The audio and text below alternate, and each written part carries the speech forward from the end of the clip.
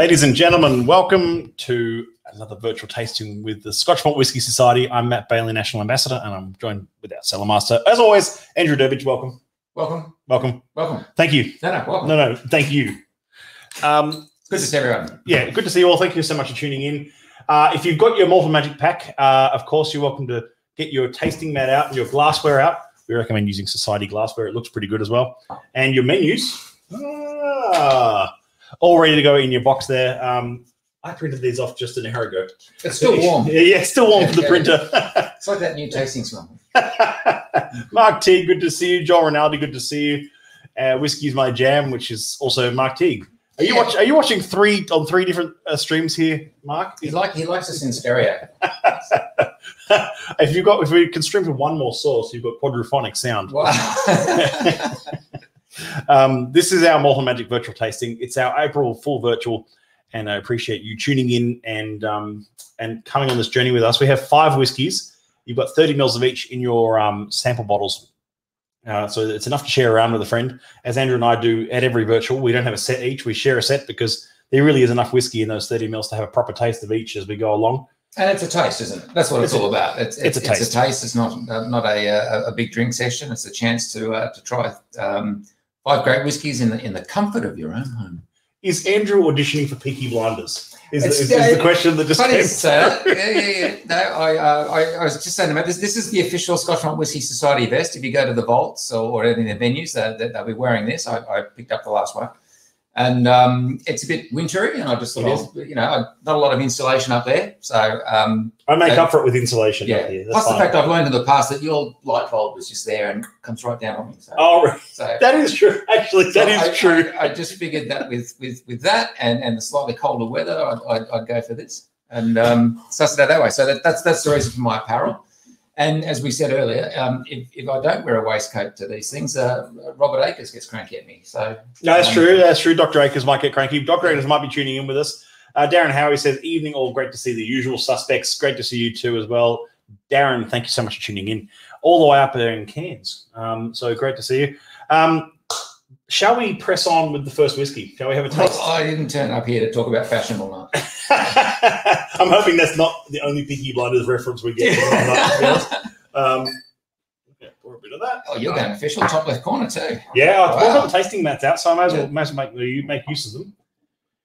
Um, now, this is not the first time tasting this one um, for myself. This has featured at a couple of events. This is 82.27. Uh, I'll bring up the, the, the list here so we can see what we're drinking. Pop that up on screen. Ooh. Hey, before we go any further, Hmm. a, a toast in, in a way, and also commiserations, uh, particularly to Susie Torres, who I know must be devastated. Uh, Les McKeown of the Bay City Rollers passed away. I did not know that. Now, I have a sneaky suspicion. I, I got a vague recollection. Susie telling me that the Bay City Rollers was the first rock concert she ever went to. You can call the Bay City Rollers rock pop concert then. Um, so uh, you know, there are Scottish people uh, and fans all around the world mourning the, the death of, of Les, who was their lead singer, second lead singer apparently. At, uh, so yeah, Susie and uh, all, all people who are the Bay City Rollers fans, uh, this is for Les. This is for Les, and uh, you've inadvertently um, given Susie some sort of age and timeline here now. And she, Not she, necessarily. She, she is timeless. I mean, I mean, look, if you, if you like Beethoven, you're not 300 years old. okay, fair call, fair call. Just quickly doing some maths on my head to work out if I was out by a century there.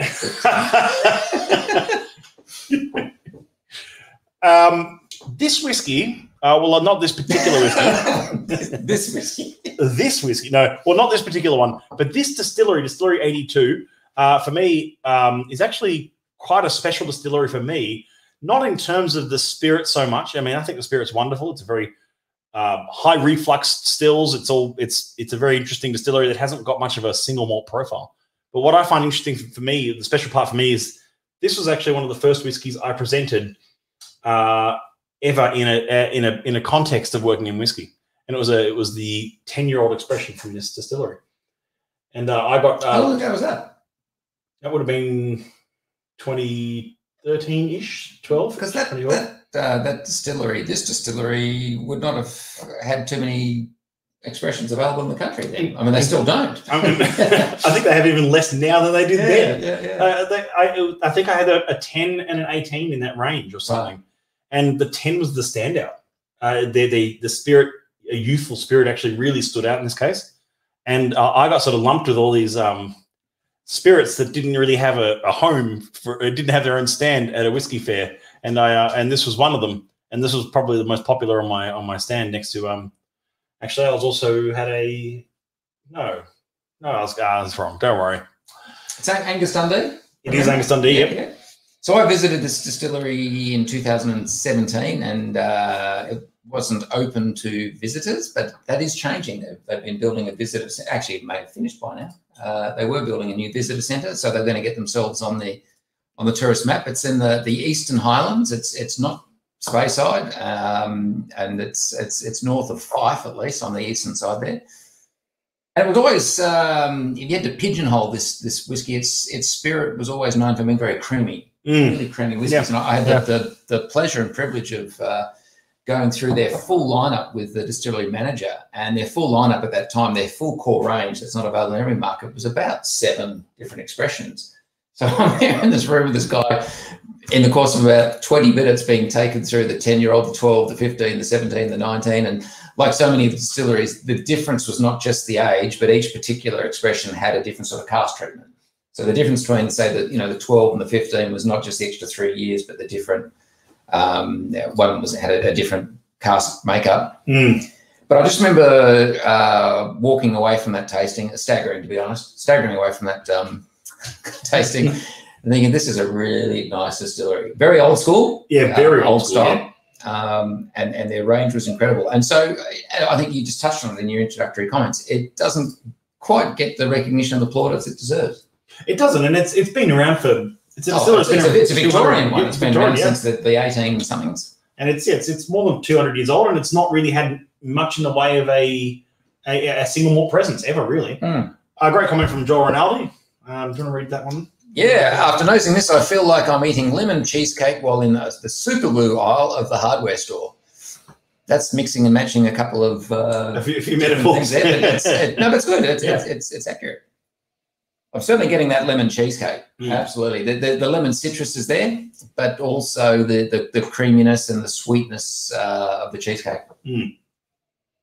I'm gonna have a taste. What are we sitting on proof here? Actually, It's up there, 63.9. Wow. Do you think this would have been filled into the cask at 63.4 or 5 and it's gone up? Or do you think it's one of those distilleries that is filled at a higher proof? Look, this is seven years ago. Um, by that stage, a lot of them had jumped up to higher filling strengths of 68, 69. Uh, so we'll, we'll Mm. assume that Mm. in the absence of any other knowledge. I, look, I'm not aware of too many distilleries in Scotland um, that that gain strength Mm, over no. time. Um, I get that vanilla ice cream on the palate. That's lovely. I'm gonna try it with a bit of water. This one will certainly um, uh, wake your palate up, though. Will certainly spark your palate a bit here. wow. Wow. That is outrageously flavoursome. I really like this. I really like this whiskey. This one is actually available now as well to Memphis. It was. It's on the website. It was on. Our, it was in the April outturn. Hasn't that got so much going for it for a seven year old? It has a lot going for it for a seven year old. oh man. I was recently on a, on a tasting panel for another organisation um, that was looking to um, do some interesting things. And we tasted uh, some 13, 14, and 17 year old whiskey, and they were all from, all we knew was they were refill casks. And I suspect they were third or fourth fill. Mm, There was really little oak influence. There wasn't a lot of development. Was from a range of distilleries, and some of them had great reputations. mm, mm. Uh, and they did not nearly have as much flavour as this has gained in just seven years. So this is, uh, I mean, first fill bourbon hogshead, and it's it's just screaming that that Mm. first fill influence. And and and this is what I love so much. This is absolutely um, killing that uh, that stupid um, misconception out there that a whiskey's got to be 10, 11, 12 years old to be ready or to be any good. Uh, this at just seven is is such a great whiskey. Joel, your comment of lemon cheesecake, I get way more with a drop of water now that I've had it. It's just this, it just leaches out of the glass. It's a very, which is, that's very much a spirit driven note, I would, I would say. I mean, it's, it's, uh, as Andrew said, it's a very, um, it's a very creamy spirit. It's a very interesting spirit. I always get that sort of like typical sort of like lemon drops, pear drops kind of notes in their spirit. But uh, tasting this is um, the mouthfeel on alone is fantastic. I found once I added water, I'm not just getting the cheesecake, but the uh, the biscuity pastry base of the cheesecake. Mm, yeah, yeah. There's a lot going on for like I mean I, I think it's it's the other thing that um, just piggybacking off your comment about the people often overlook you know that thing about age statements, but also in our flavor profiling, young and sprightly. You, you assume Mm. young and sprightly might not be as good as old and dignified. It's just different. They're just different flavor profiles. They just they carry different flavors. Mm, I rate that. I rate that a lot. Well, and it's funny. Anytime you do a tasting, um, the first cab off the rank is always, you know, we call it the death, the death seat. Mm. Um, the, the the first the first whiskey has a tough gig. It, it's it's got to it's got to impress. It's got to um, your palate hasn't really quite got into the zone yet. And um, oh, did I just see a photograph that?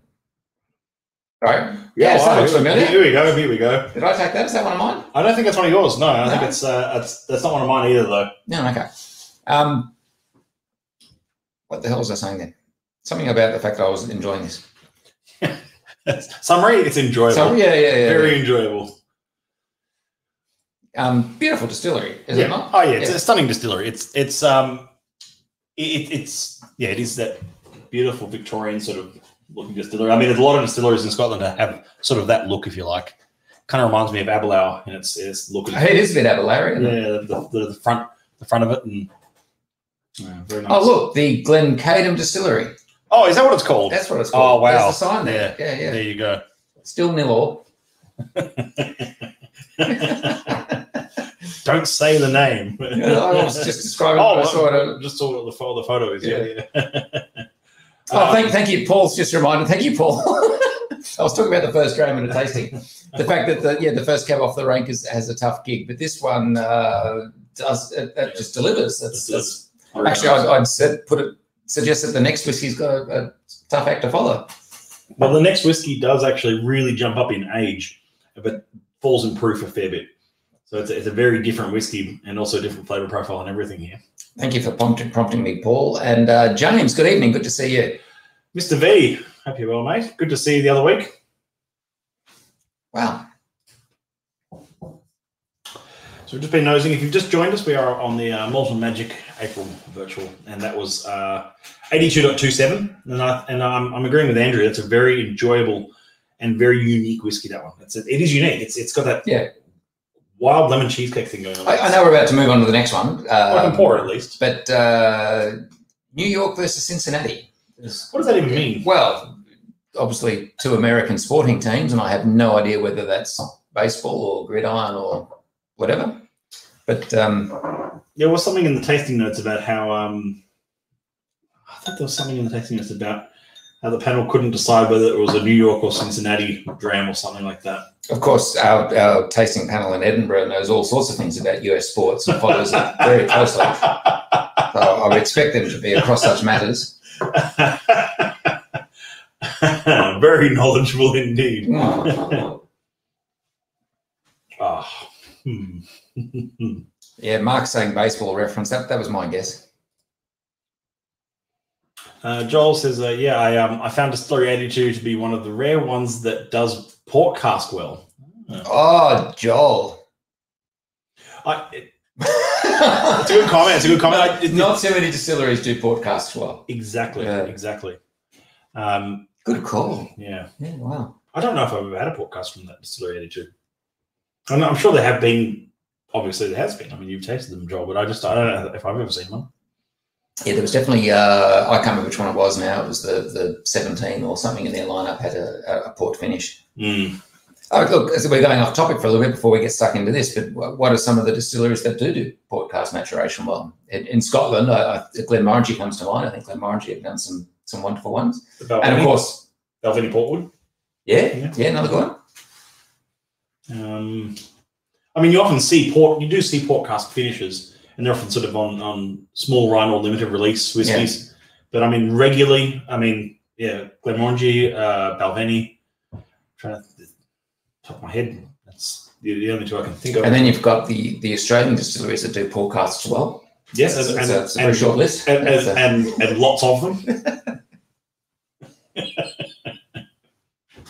We've just poured uh, 35.273. Bring that up on screen there. 35.273 uh, flower arranging in the sunshine.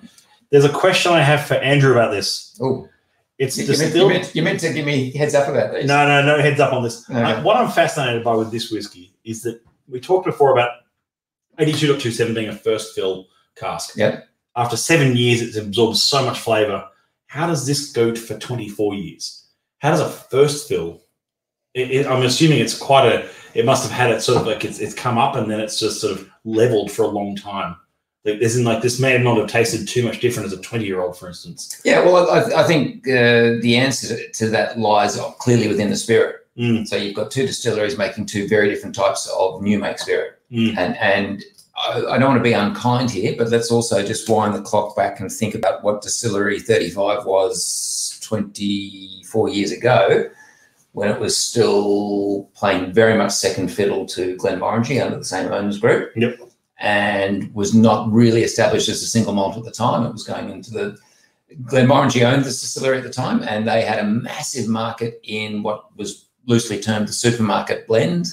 Uh, so they were putting all the, the the really cheap whiskies going into the Tesco's of, of the UK under the names of you know uh, Highland Stag and um, you know the Tar- Tartan Queen and things like that. uh, and so this distillery Glen was Bagpipe. yes, yeah, I didn't want to go there. But so this this distillery would have just been making a very simple um, spirit at the time, and uh, as as such, um, it, it could ride the journey out for 24 years in a first fill cask. Oh, look, I'm, that's just my yeah, yeah, no, I get it. Uh, I get it. Do you agree? I agree. Yeah, I, that, I'm, that's- just- I'm, I'm speculating. No, that. I, I mean, there's no there's no easy answer to that, but it, it's it's kind of one of those things that it's you don't often see whiskey of this age in a first fill. no, It's it's it's unusual. Mm. Uh, it's, yeah, I, I, I'd agree with that. you see you see refill 24 year old, 25 year old whiskey, and um, uh, I I think there's also tremendous tremendous value for a 24 year old whiskey as well. By the way, Indeed. Tell them the price, son. tell them the price 385. There you go. It's actually it's, again it was an April outturn. It's available now, um, and it's, it's been online for a, a few weeks now, and there's still Was a that, few was that company national? That carpet company? I mean, I've just made a reference to a very well-known TV ad that was played ad nauseum on television in New South Wales. But if no one else, if people in other states, that company didn't exist, Was it Frank Walker? Was it Frank Walker? It was the, the, the little carpet guys, the little doers. The little doers. That's And it was their father and son team. And at the end of the ad, the dad would say, "Tell them the price, son." I remember the ad. I just couldn't remember who ran it. Yeah, right. Um, some great comments coming in here. Uh, James V says, "Yeah, that 82 jumped out of the blocks." And uh, Paul Leyland says that uh, Benriach has a few. It's in a few uh, port casks. Yes, they do. They've re-racked a few things and, and put They- some okay, uh, Paul, thank you for that. Benriach have had a few. Mm. Have they done them well? So, moving on to this whiskey. I didn't say anything. I You didn't, didn't. say You didn't. anything. you also looked up at your ceiling. Oh, look! They look. They they they they they. they Hey, let's let's they not look, kid they vary. ourselves. They vary a, a lot over the years. Let's be yes. fair. Ben Nevis have put out some stunning whiskies. Yes, a, in, well, I- in white do, do, do not interpret what I just said as a, as a knock on then. Oh, Ben Nevis. Ben Nevis. I thought you said Isn't Benriach. He said Benriach. Oh, he did too. Sorry, Benriach. Now Ben Nevis have got some great port casks. Yeah, as well. yeah, They've yeah, done the yeah. White Port, the White Port 12, and I'm sorry. Yeah. Um, Distillery 35 have a port cask OB release too. Oh, they do. They do. Is that in their new uh, Yeah, NAS range? yes. Yeah. Yeah. Lots of experimentation going on there now. Well, there now. I mean, there's lots of experimentation been going on there for ages. Truth be told, um, this, this, the, the society has been lucky to bottle a lot of that. Mm. Uh, as we, I mean, over the years, I mean, we've, we've seen a lot of 35s from things like Chenin Blanc casks, from port casks, from virgin oak, from French oak, all sorts of things over the years uh, from 35. So experimentation was, I feel like we, we bought up a lot of it. Well, back back in the day, the distillery was, I'm going to say back in the day, I'm talking late 90s, early 2000s. This distillery had a, a very widely available commercial expression that was called Chardonnay Mellow. So it was, it was a finish, but they, they used to mellow it in, in, in Chardonnay casks. and there used to be a 10 year old Chardonnay. Yeah, that came along a bit later. A bit later, yeah. right. Yeah, yeah. Wow. Oh, I've just I'm loving that. I'm loving the That, nose. that, that, that is a walk through a flower garden for me. I'm, I'm strolling through someone's very well manicured It's so delicate. flower garden. Yeah, It's very so, so. delicate. It's just it just dances on the nose. Z- like kind of z- uh, juicy, like juicy fruits on the.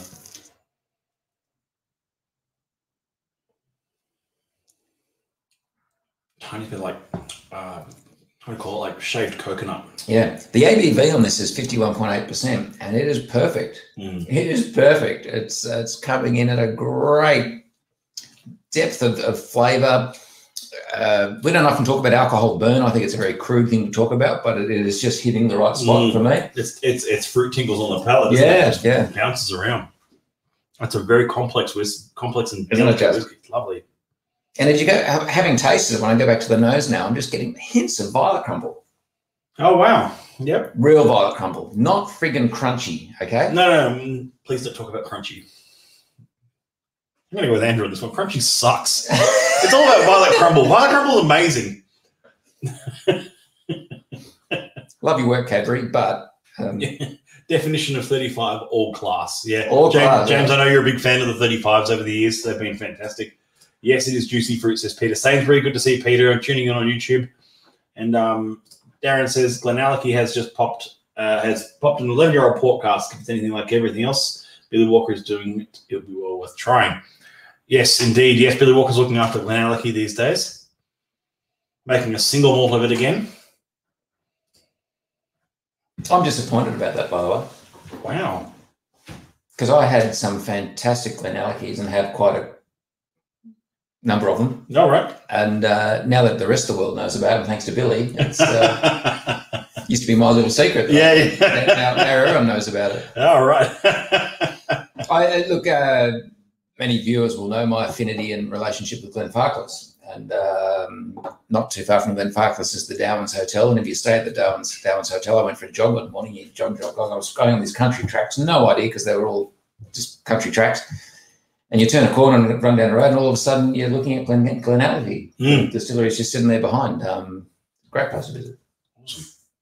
I, I love that though. I love like when you're in Scotland, you do find things that you didn't even know were there, and and like that example. Mm. Yeah, I was I was at Lynn House. I know Lynn House. Yeah, You know yeah, Lynn House, yeah. And I was I was just going for a walk, uh, and I was like, I had we'd been in the car most of the day, and we're we're going for a walk, and I walked up this set of stairs, and then around this bushy area, this forestry area around the side of the lake, and you walk up these tiny little steps, and suddenly there's Glen Keith Yes. just sitting there. Yeah, It's like I didn't even know that distillery was even sitting there. It is tucked away. very it? tucked away. Yeah, yeah. yeah.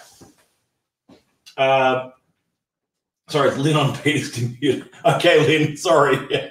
You're on Peter's YouTube account. Well, Lynn, great for you to join us. Thank you so much. Sorry, I can't say that. What was that? Oh, uh, Peter's. Oh, Peter's right, right, right. It's, it's Lynn on Pete's computer. Um, winning world's best whiskey for the batch four hasn't helped keeping it quiet.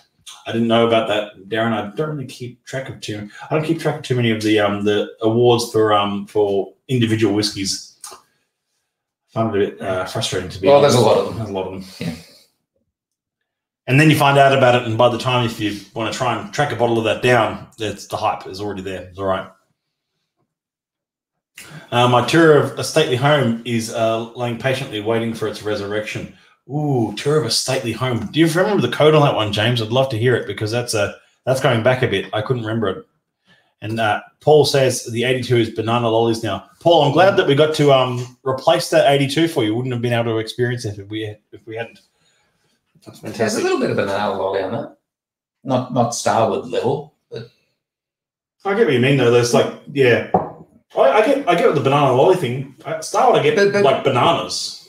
I get candied bananas Right. from Starward, and certainly get some Yeah. some of the expressions do have bananas. Yeah. Um, the, the the banana lollies people talk about is really a musk. It's it, it, they're like yellow musk sticks with, yellow with- musk with sticks. banana flavour rather than that, that strange berry flavour that that uh, pink musk sticks. What's that? Just reminds me of that. There's you know when some something's chicken flavored. It's like it, would- no, no, it doesn't taste like chicken. Chicken chips don't taste like chicken. They just taste like chicken chips. I did a tasty once where, uh, uh, you know, I did my little call to the audience and, oh, so what do people get on this? And some bloke who was a newbie down the front said, taste of chicken. You're not trying, sir. I think I made, it was a Mortlach, and I made some point about it being meaty. Oh, this is a meaty whiskey. What do people get? It's toast of chicken. Oh, that's yeah, so yeah. good. That's so good. yeah, yeah.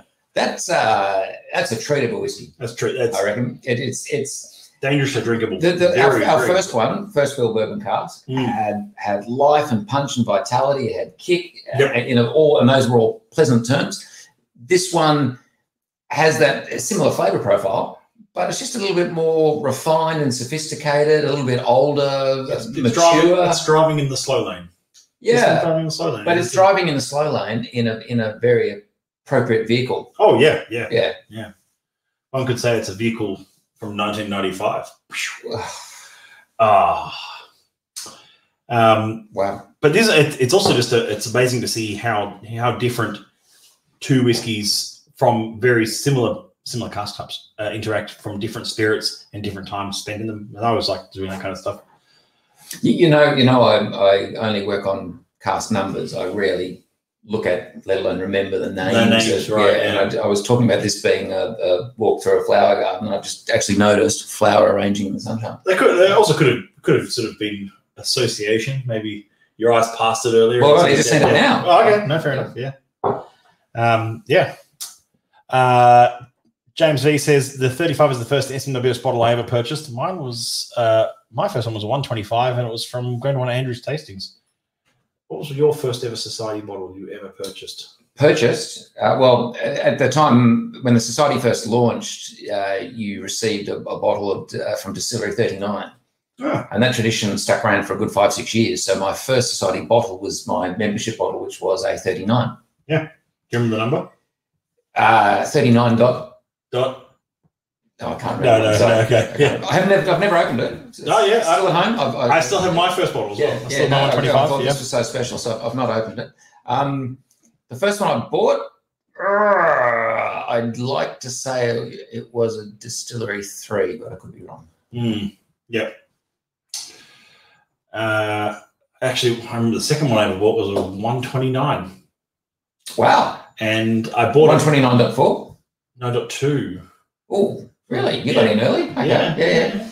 And Which was uh, a four year old whiskey, by the way. there was, Yeah. and uh, I got it because uh, no one else on the table liked it. Oh, score. I know, and everyone, uh, everyone on the table saying, "Oh, I don't really like that." I was like, "Oh, well, I'll just be quiet then and order one." 'cause I really Yeah, liked right. it anyway. Uh, shall we move on to the next whiskey? Shall we? Now, it's this is actually I'm not sure. I'm gonna. I don't know if this is correct, but I think this is the first time a dot one has featured in one of our virtuals, which is kind of exciting, and it's also an exciting. Uh, I think it's an exciting whiskey as well. Um.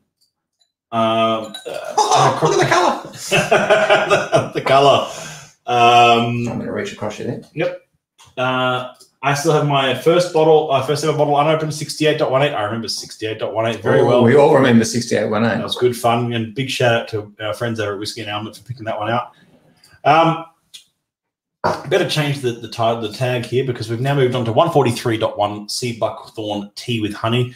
The name, as in your menu, and the name of what's actually on the bottle differs slightly. That does happen sometimes. So the bottle actually says Sea Buckthorn Tea with Honey. In the menu, it says Sea Buckthorn Tea Time. We got as close as we possibly could. This is Seattle single malt whiskey. This is not Scotch whiskey.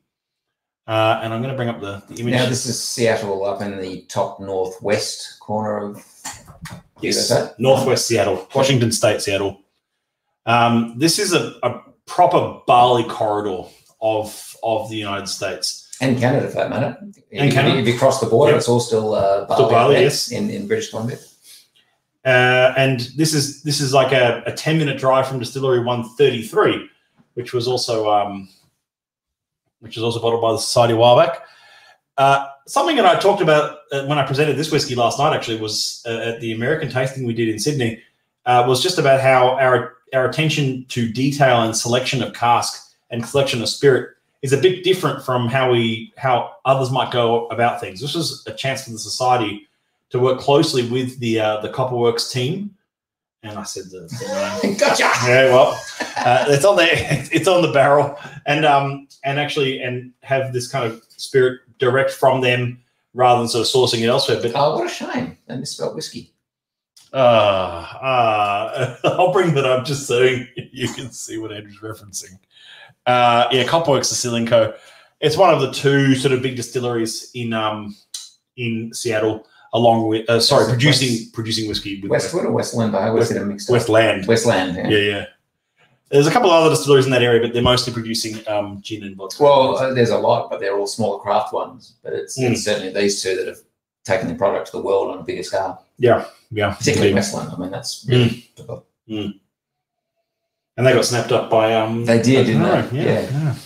yeah. Is it uh, Adam Hoffman? Matt Hoffman. Matt Hoffman, sorry. Very close. I, I know Adam Hoffman's another colleague of ours.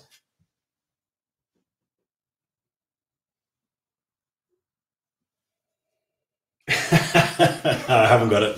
Don't worry about me. Um, is it Westland? No, no, it is Copwork. Sorry. Um, interesting to see. Uh, oh, interesting about it that they've spelt it whiskey with an E, not whiskey.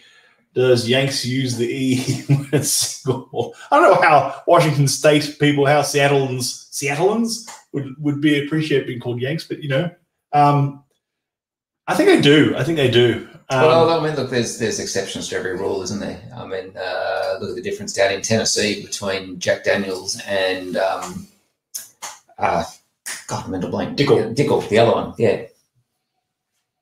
Dickel spell it without the e, don't they? Did I get that right? when yes, they spell it without the E. That's Yeah. right. Yeah. And the other one is Maker's Mark, I think, spell it without the e. Whereas every other bourbon one, I could have that wrong. In fact, the if I might, I want to get this right, but it was B five, the B five casks that we had through, and we had a couple in Australia, uh, and that were 12, 14, 16 year old bourbons, and they were bourbons, not sour mash. They weren't Lincoln County processed. They were like Oh, bourbon okay, right. out of Right. And that was the first time that bourbon had ever been bottled from that distillery. right. Yeah. Okay. Uh, sweet basil on the palate. Sweet basil. Okay. By the way, you know you're in very special company when the, the expression Lincoln County process just gets thrown into a sentence. It's- you know, you're, you're, you're on the nerdiest end of the spectrum possible right now. Possibly, Welcome. yeah. Welcome. Yeah. I, I love the nose on this, though. It, it- it's. It's great, isn't it? Can I say I haven't tasted it, Mm. just on the nose? No real clues that I've crossed the Atlantic. No, no.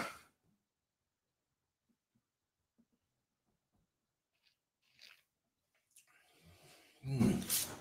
We're into 143.1, and it's a dot one. Now, uh, we've snuck six bottles of this up online uh, exclusively for those who are tuning in tonight. If anyone wanted to grab a bottle of this, this is a preview of what's to come. This is in the May outturn. Wow.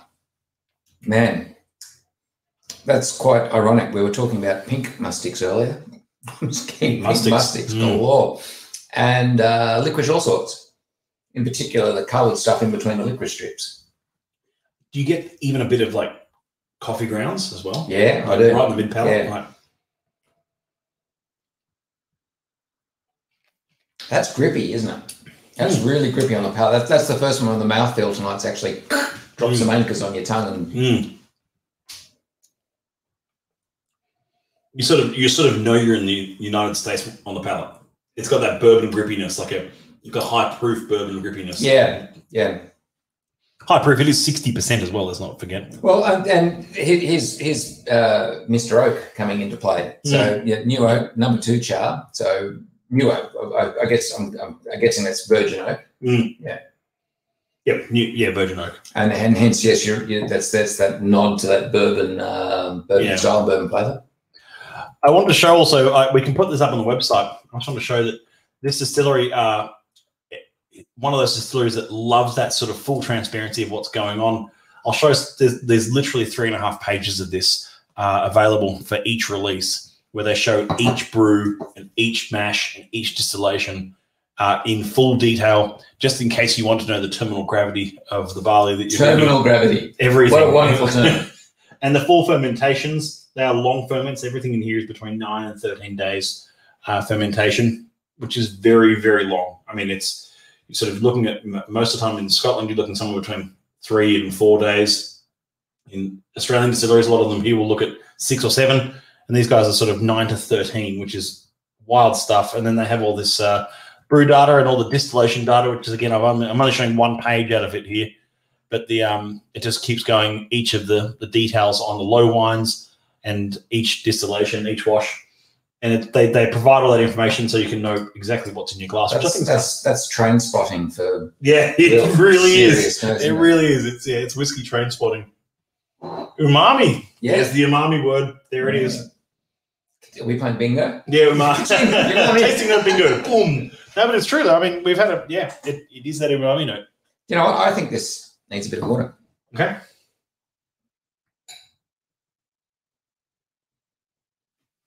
I'll give that a go. Yeah. Yeah, sure.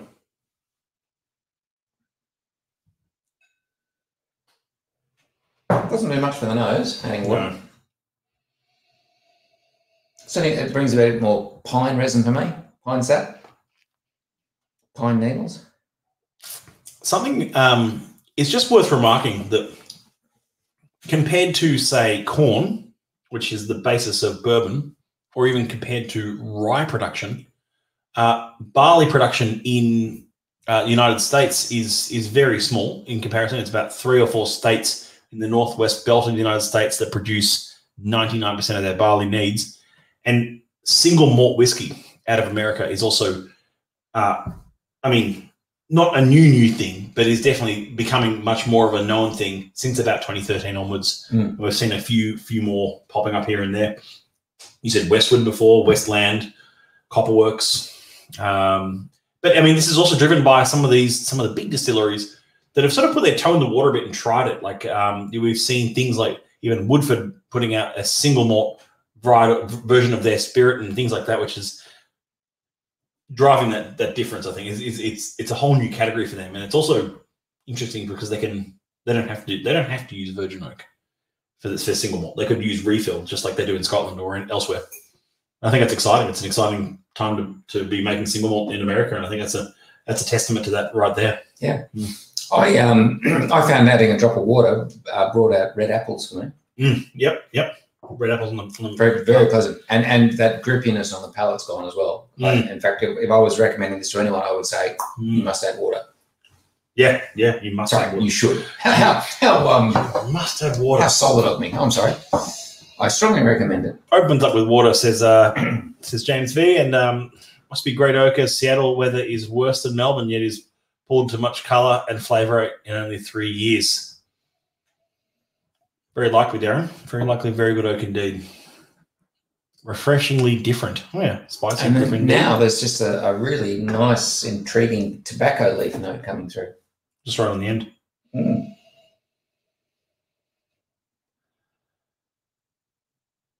Mm, very nice Now, what's interesting for me, obviously, this is a fantastic snapshot of our engagement and involvement with this distillery, and it's a young distillery, and, and this is uh, three years.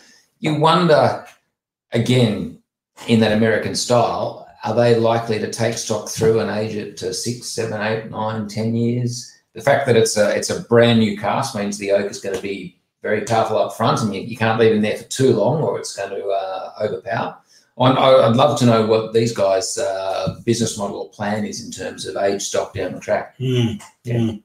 i mean but considering most bourbon in the united states is about three four years of Yeah, exactly. That's Yeah, my point. yeah okay And having, but yeah, we say that most bourbon is certainly they've they've suddenly uh, woken up with the fact that there is a premium market, and if you age it through to greater ages, you can charge more and all the rest of it. and it's not necessarily any better No, very true.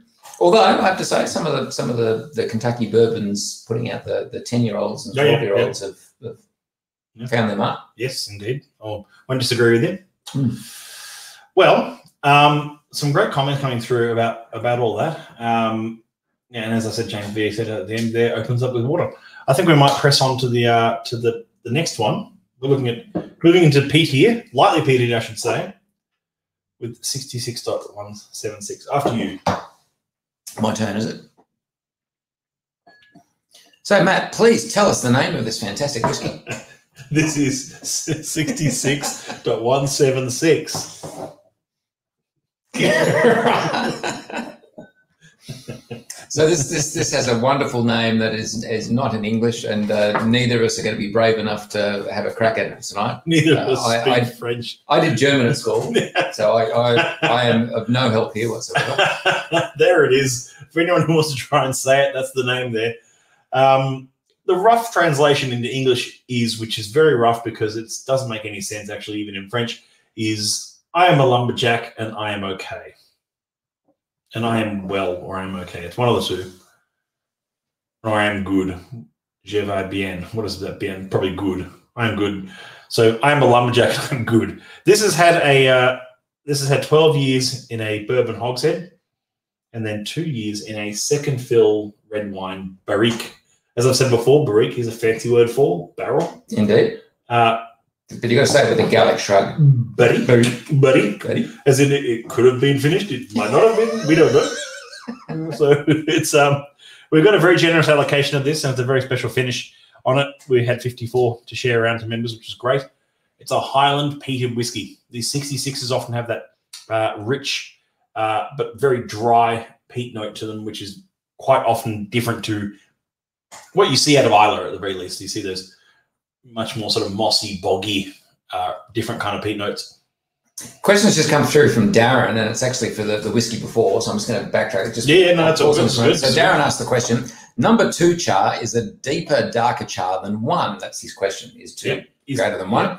Any idea what numbers are used, i.e., highest level of char? Now, I don't claim to be an expert in this. I believe I'm right in saying the scale goes from one to four. Mm, Do you agree? I think it's wonderful. Wonderful, and four being the heaviest. And so there have been some very famous whiskey releases that made a, uh, a, a marketing point of, of, of the level of char. Ardbeg was the, the famous one with Ardbeg Alligator, which was the number four char. And they named it that because when you char the oak to a number four, uh, the charring is so great that it creates what looked like alligator skin. Hence, that's where Ardbeg Alligator, alligator came from. So, yes, two is greater than one.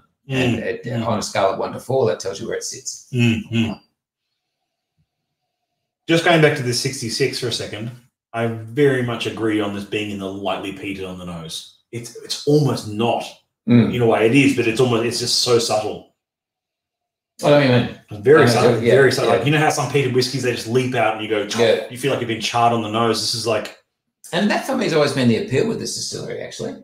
I, yeah, I, very- I, yeah, I love the fact that it, it very rarely does it ever get into the realm of, of, of the Islay levels of peat. And yet it's got this. it has. It has. It has, I yeah, said yeah. Rarely, Rarely. not never. Not never. But in that in that lower level, it can really go from something subtle and intriguing to something you know quite meaningful and Mm. uh, almost Talisker levels. Yeah, yeah, yeah. I'd agree with that. Wow. There's a sweetness coming through on the nose that is just holding hands with the peat and they're skipping happily down to the park together. Like, it is a bit Taliskerish, but good. Peat and sweet. Uh, Paul says Ren and Stimpy. I'm the odd one out in my generation. I just, I never got Ren and Stimpy. I hated it. I thought it was so stupid. I think you have to be really high to enjoy it. I think that's the whole Ren and Stimpy that's- thing. I think you had to be off your face to enjoy Yeah, Ren and Stimpy. I mean, I, look, I like a good fart joke as much as the next bloke, but, but but half an hour of fart Yeah. jokes is pushing it. Sweet and peat is right, though, isn't it? isn't it? Yeah, the, yeah. the- the second fill red wine cask for just two years. It's not a first fill red wine. It's a second fill. It hasn't overpowered the peat. It hasn't overpowered the spirit. You can even tell from the color. It is not, uh, you know, it's not some deep, rich red color. It could have That, that's a glorious pale very pale. white Yeah, wine sort of color, isn't it? yeah, yeah. The, the the cask hasn't overly encumbered the spirit. It's just added a nice like a pale Sauv Blanc or Chablis. pick one. I didn't want to. It's a French name. You don't have to. But Uh, Barrique. It doesn't matter.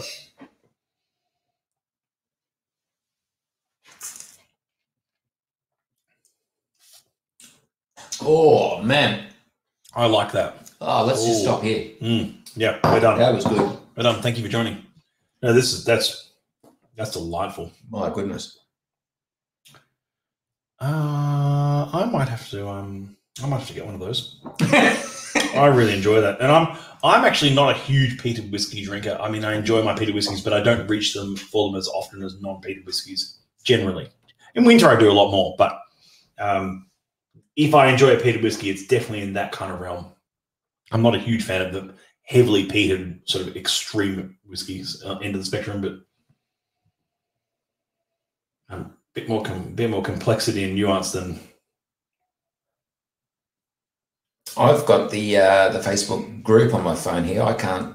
I'm not seeing the Facebook page, and James has got a comment that I can't quite read from here. Can you put that up for our viewers? For a light peated nose, it has such a multitude of aromas. My first split second nose response was a freshly opened jar of honey. Oh, good call. Mm. That smell as soon as you open it. Yeah. Leatherwood honey. Leatherwood. Absolutely. Yeah. Oh, it's lovely. 14 year old as well. We've had a we've had a string of different. I mean, the age statements we've seen out of Distillery 66 as well has been very like very varied, I should say. Oh, uh, Joel's made it just following on from your comment. Joel's just said here, uh, I'm the same, Matt. I also feel you go through. uh, Sorry, I also feel you go through stages between drinking and not drinking peated whiskey. very much so. I have that Yep. uh, morning, night, I suppose. Uh, what do they call it? The you know how like say there's a certain part of the day is coffee and the other half of the day is whiskey. You know that sort of like the transition point. I, I've heard rumours of such sayings. Oh yes. yeah. but Joel, yeah, I get what you're saying, Joel. I, I I go through phases of enjoying peated whiskey and not enjoying it. And I, I there was a good, I think, a good twelve months where I didn't even have any peated whiskey. Wow. No, for real. I just it wasn't into Oh, it. that was that year you were cranky. Yeah, I was, I was angry the whole year. I was cranky. It must have been like 2016 or something. But I wasn't really into my peated whiskey, and I, I still kept buying a few bottles of it here and there, knowing that I want to come back to it. But I just didn't. Um, you go through phases of it, and I think coming into winter, I was just about to say, I, my peated whiskey consumption goes up massively in, Yeah. uh, in winter. in winter it jumps up a fair bit for me Mm. as well. Especially if you get a, just like a, a nice big glass of it, and you can sit on it for hours, Yeah. just like watching something on TV or doing something or doing some Yeah. work. It's just something that can be enjoyed on a cold evening. Uh, I'm, I'm a big Aussie rules fan, and I, I have a, my, my team in Melbourne that I follow, and I, I find in winter sitting down in front of the telly for two hours watching a footy game with a, a really good peated whiskey is just a very pleasant way to spend your Saturday afternoon or evening. Very agreed. 66.176 was a name that I'm not going to try and pronounce, but it roughly translates to I'm lumberjack and I am good. Fine. Okay. Yes. Um, and and thank you, thank you, Matt Waller, for saying what is this uh, stream business I've stumbled across tonight, across tonight. It is um, Malt & Magic for those who are playing along. It's the Malt & Magic virtual tasting with the set, the tasting sets that went out for, with our April outturn. I'll tell you what, Matt, you've opened yourself up for a comment there, but I'll I'll, I'll keep that one to myself. Uh, sweet flavor bomb on the palate, says James V. Yep. Well, I, the sweetness is just extraordinary. and hope your team wins a lot, Andrew. Sadly, not this year for me, mate. But anyway,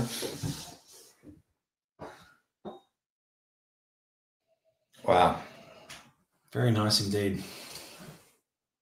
That is, I, I'm really enjoying this on so many levels. I think it's a nose. Uh, you know, I, I, I put a lot of emphasis on, on the nose. Um, it, it's, uh something I get a lot of enjoyment out of. I could just keep sniffing that for ages and ages. And then when you take it through to the palate, it delivers on so many levels. I, I have a sweet tooth. I love, I love sweeter whiskies, and I love it.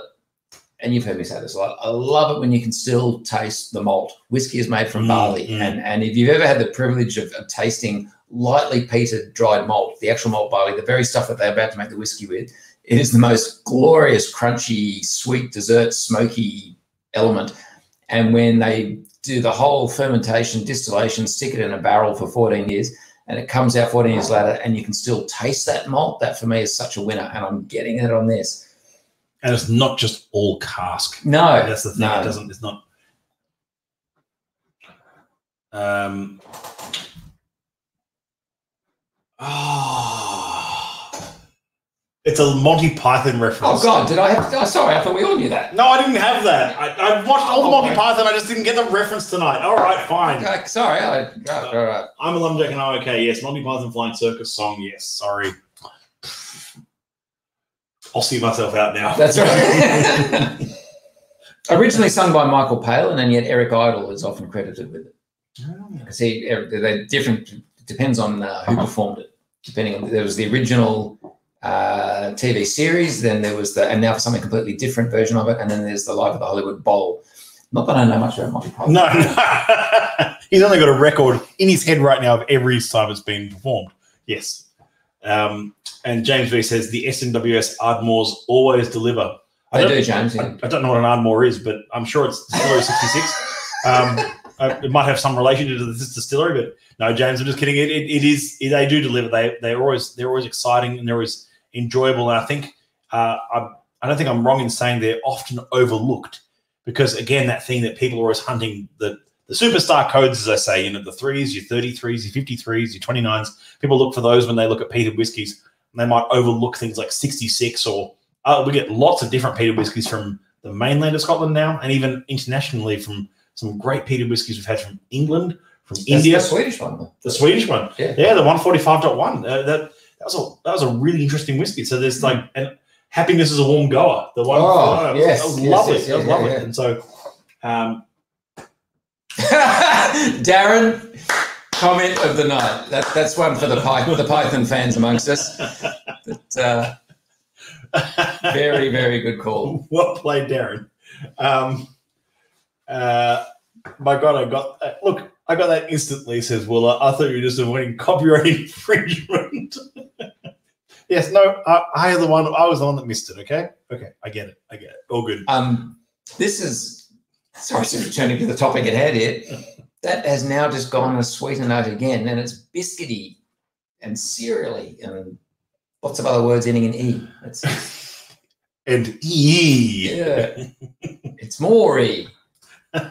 Uh, sorry, I was going to pick up on a point you made. I, Yeah. I, I cannot endorse what Matt said uh, heavily enough. People get their outturn, and the peat heads among us go straight to the ones with the green color coding. Uh, Yep. Look at green, lightly peated, peat, peated heavy whiskies. peated. Yep. and and they're looking for that word Islay in region. Islay, Islay, Islay, and then they see Highlands for, for this one, and go, oh, it's not from Islay, it can't be as good. That is the biggest mistake you can make. Oh my goodness! Yeah. Trust the flavor profiles. Don't worry about which distillery it came from, what code it carries, what region it came from. Just look at the flavor profile. If it says peated, you're in the right ballpark. and, and read those tasting notes. I mean, some of them really are sort of wild and don't make any sense. And that's, I mean, and sometimes you go, actually, no, I do get that. I get that, and, I, and I'm really interested in that. So trust the flavor profile, as Andrew said. Trust the tasting notes. They're there for a reason. We would like to publish them all in every outturn. Um, Oh, that was good. That's very enjoyable whiskey. I'm with you. I might need to uh, acquire a bottle of that. Um, that one is also online at the moment, and it was in our um, April outturn. So that was part of the Malt & Magic series of casks that we released for April. And there's two less now than there were half an hour ago. Very much so. I, I am going to get one of those. Uh, As I said to Andrew, I'm, I'm, I'm not a huge fan of heavily peated whiskies. I'm, I'm into that uh, that style of more lightly peated, nuanced kind of peated whiskies, which are enjoyable to drink, rather than ones that just sort of bash you around the head with peat. It's like I say the same thing with good beer. You know, good beer can be hopped, but these quadruple IPA, imperial, quadruple imperial IPAs that are just hops, a bit one dimensional, and you can still taste the malt in that after 14 years Yeah. that they can taste the distillery character in there, which is great. Uh, shall we? We shall. Now, Matt, tell the viewers at home about this amazing special whiskey. tell them, tell them the price, son. Now I'm just going to bring up the next, uh, next little. Because that's a great graphic, by the way. It is. And, and, and go, returning to the Monty Python theme, there's a little bit of the Life of Brian um, theatre theatre poster about that one. Actually, yeah, I can see that. Yeah, I didn't miss that one. Thanks, thanks, crowd. Um, the Tarpit blended batch eleven. This is uh, a blended malt Scotch whiskey and marriage of bourbon hogsheads and selected Pedro Ximénez butts, and bottled like all of our um, blended uh, whiskies at fifty percent. Don't count the um, the blended cognac. That was a bit of a different proof. That was forty something percent. But this is um, a blended malt Scotch whiskey not to be confused with a blended whiskey. Andrew, what's the difference? Oh, goodness. Are we going to go there? well, no, let's, let's just let's cover some of the I'll, basics. I'll- I'll- I'll come back to that moment, just while you leave that on the screen for a second. It- it- Marriage of bourbon hogsheads and selected Pedro Ximénez butts. How'd you feel to be unselected? yeah, yeah, you didn't quite make the cut. Yeah. It's like the the schoolyard when you know they're picking teams and you're the you're the last person left. You've not been selected. Yeah, yeah, yeah. You're not selected. Uh, Oh, uh, Anyway, um, so the question was the difference between blended whiskey and blended malt whiskey. Not to be confused. Not to be confused. Uh, Are we interested? Shall I? Shall I? Yeah, I think we should. that? I think we should touch on it. I oh, mean, look, it- it, it goes back to. Uh, I wrote an article about this on Whiskey and Wisdom um, about uh, the the infamous Cardhu moment, um, which is a long story which I won't bore you with. But at the end of the day, we have a blend traditionally always meant malt whiskey and grain whiskey. So whiskey made from malted barley, whiskey made from wheat or corn. Blend the two together. That was a blended whiskey, and it meant that thing for many years. If you were to take malt whiskey from one distillery and malt whiskey from another, that historically was known as a pure malt or a vatted malt. And those two terms got banned in, I can't remember the exact year now, 2005, six, whatever it was, when our friends at Cardhu uh, tried to pull a Swifty. You can read all about that. I won't bore you tonight about it. Um, but the term pure malt and vatted malt got banned and replaced with blended malt whiskey. So it was a blend of whiskies from lots of distilleries, but malt, 100% malted barley. That's the term. And that's what the society's put together here with the tar pit. just do me a favor for a 2nd Mhm. Look at this. Look how thick it is. It's just positively oozing down the sides of the glass. It is oily, isn't it? That's a very viscous spirit straight away. That's the Yeah, first thing I just yeah. noticed how slowly it's just leaching down the sides of the glasses. I Wow, well. yeah, you're quite right. That- Yeah, That's far more than usual. Um, indeed. just to give you a bit of context about this whiskey, uh, I'm going to bring up our, uh, our other screen for a second here. This is the tar pit, and as Andrew talked about, it's a blended malt uh, constructed by Ewan Campbell Hello, Ewan. in our team. He sometimes has a rather ferocious beard like that, sometimes doesn't, but that's how he looked when that photo was taken. And he's busy there doing a bit of blending and actually testing samples, seeing what works together. And he'll sometimes go through uh, dozens of iterations to find the right blend to create these these blended editions. And um, it's an opportunity for us to play around with spirit, play, have a bit of fun with it, and keep flavor as as our focus as we always do. And that's that's the important part of this is that the flavor is at the focus rather than worrying about single cask this or single malt. This is just it's flavor that he's created and blended together. And this is the eleventh iteration. It started with well, uh, uh, sort of officially started with exotic cargo, um, which would have been about 2016 or so, Yeah, that'd be right. and then um, we had Peat Faerie after that, and and now we're up to the eleventh version of these. And we've had quite a few in between, old fashioned. Um, More on the pipeline too. more on the pipeline. Yes, they're still coming through. They're, he's still working on these blends, and they're still very exciting to see Ewan's work um, come through.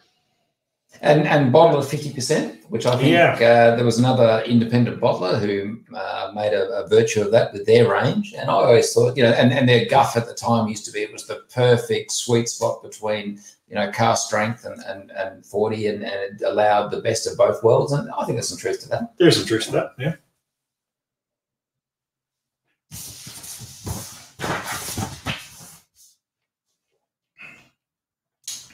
Oh wow, that's fun. There's one word that keeps coming back for all these these blended malts, and that's yeah, they're, they're eminently quaffable. They're drinkable. They're fun. They're, they're not. They, they don't uh, raise too many eyebrows. They're not. You see, I, I'd say that the previous whiskey, it's as bad as peated as the previous whiskey in many ways. It's not hugely peated. It's a bit more peated, I'd say. But that one was you want to contemplate and take a bit of time with. This one doesn't need. You don't need to take too much time with. It. It's enjoyable. What what I'm finding fascinating about this whiskey, and this is just me, but the the in, as you if I was writing official tasting notes, the peat hits you straight away, and then that sherry oak comes up right behind, and in fact uh, overtakes it in the straight. Mm. And and the finish is all. That's not all, but it's mostly that that that sherry oak influence for me, and the and the peat really starts to just disappear back into the, into the background of the, of the shot. Uh, is this a blended malt or a small batch? It's a blended malt. It's a blended malt. There, we'll use probably use the word small batch if it's um, genuinely a small batch of a single malt, like something you're going to be seeing very soon in uh, next month's outturn. Mhm. That's a small batch, but this is a blended malt. Wow. You use the word fun. It is a fun whiskey. That's fun. Yeah. Yeah. This is the kind of bottle you could take to a party and share around. Yeah. It's not a Now let's talk about peated whiskey and sherry casks sure. because that is a marriage that does not always work. And in fact, there's been some disasters through uh, by some of uh, the, official bottlings from some of the distilleries.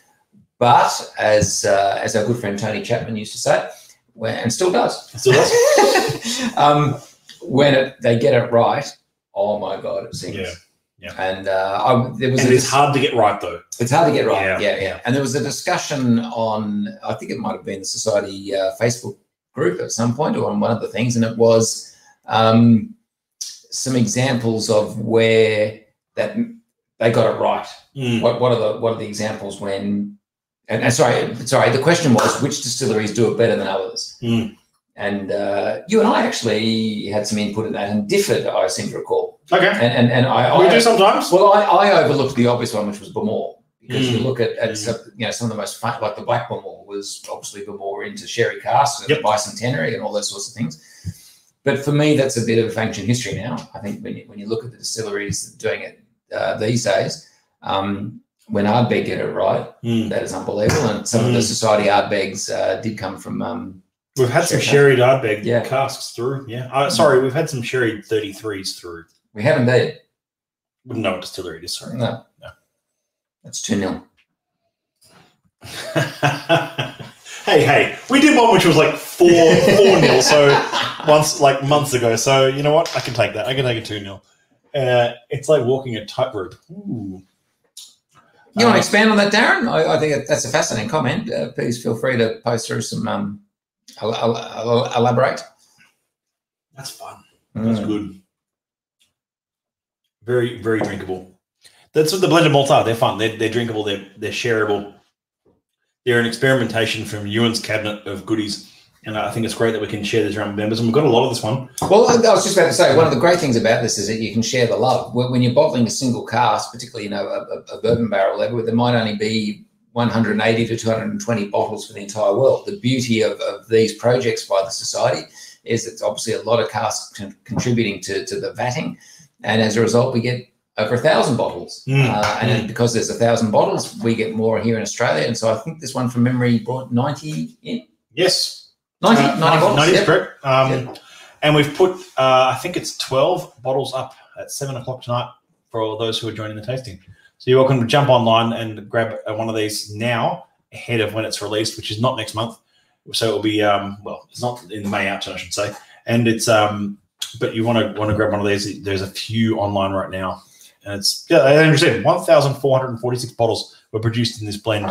So, and it, it, from that experimentation. uh, I wasn't going to say it. Uh, um, uh, who's made the original comment here? Paul Hamilton Brown has made a point about um, a commercial expression that. Um, It doesn't say the distillery name. It's fine. LP. I don't know what that is. What's LP? Yeah. No idea, sorry. Yeah, yeah. That's a long play vinyl album, isn't it?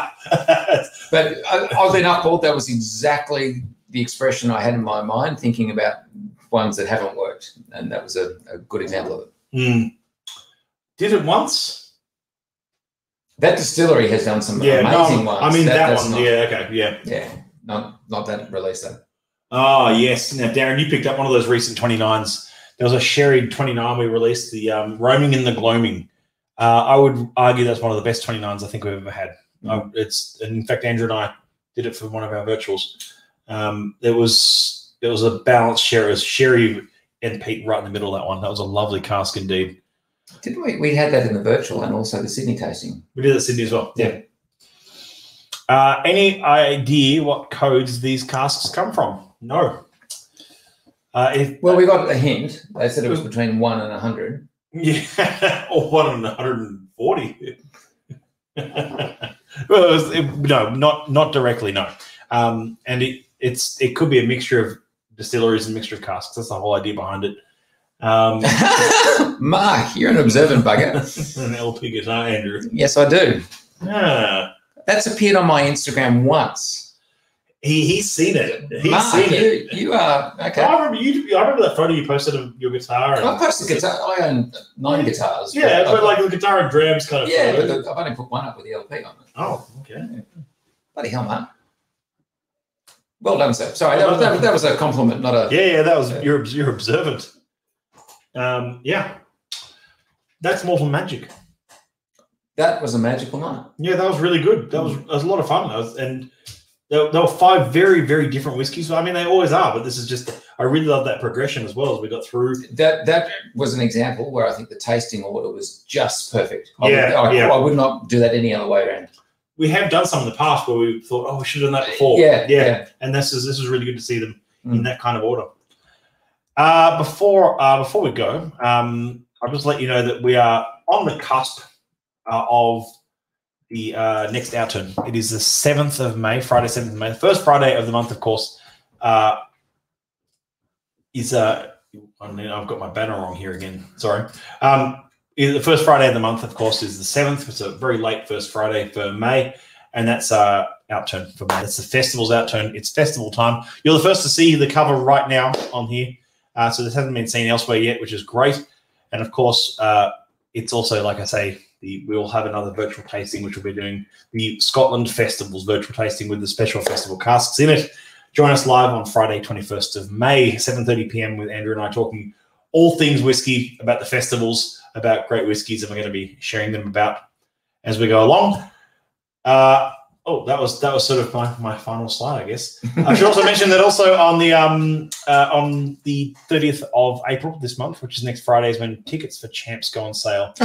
We'll be talking about this more in the coming week, which will be really great because it's uh, 30th of April, Friday. Next Friday is when the early bird member tickets and those who have signed up to the AMWTC website um, will get their tickets. We'll get their offer for tickets straight away. We've got a champs exclusive cask. We've got special partners involved.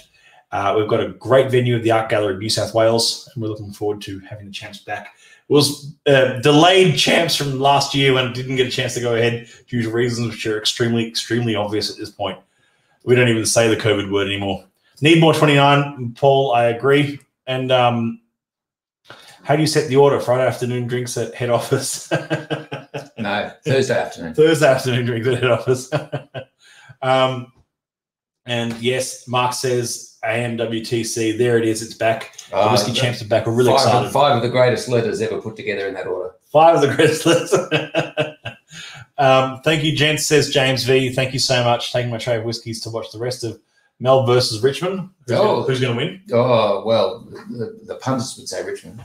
Punters would say Richmond. Melbourne haven't been doing Mind too well. Um, I want to give a shout out to this guy. This is your fourth tasting event in a row, is it not? Yeah, this week. This week, Yeah. four in a row. Four. Well, well, well done, sir. This, Thank this, you very much. This, is why I handed on the mantle. Um, no, well, well done, sir. It's been a long week. It's, it's been a long week. It's, Some tasty it- whiskeys to This man has been spruiking society and our wonderful whiskies to a lot of people in a lot of different places. And uh, well done, sir. Rock and roll. Yeah, Thank you so much. Doing on a Saturday night. And thanks for coming along tonight. Thank you. This has been great. This Always, well, as our friend would say, uh, always a pleasure, never a chore. yeah. Yes. yes. Yeah. Awesome.